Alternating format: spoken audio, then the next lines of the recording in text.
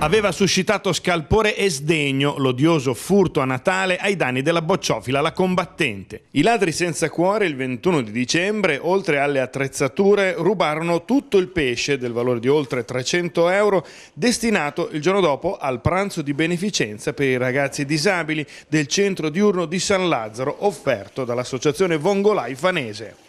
Dopo una lunga ed articolata indagine, gli uomini del commissariato di Fano, coordinati dal dirigente Stefano Seretti, hanno identificato il ricettatore della merce che conservava ancora in un congelatore il pesce rubato ai danni dei ragazzi.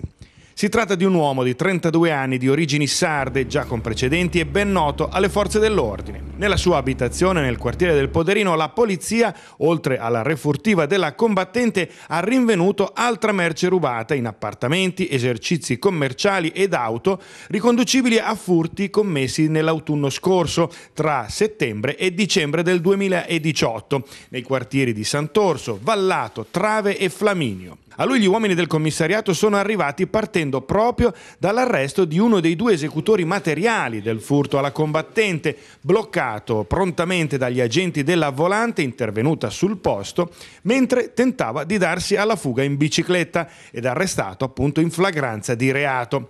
Da lì l'indagine che ne è scaturita ha portato dritto dritto all'appartamento del 32enne dove egli conservava gran parte della merce rubata e che è stato denunciato per ricettazione e furto. Ora sono in corso da parte della Polizia di Fano altri accertamenti per risalire alla provenienza dei restanti beni rinvenuti, occhiali, anelli, orologi e altre attrezzature di carattere sportivo. Pertanto coloro che hanno subito un furto nelle zone, nelle date indicate e che riconoscono nelle immagini i propri beni possono contattare il commissariato di Fano per il riconoscimento del caso.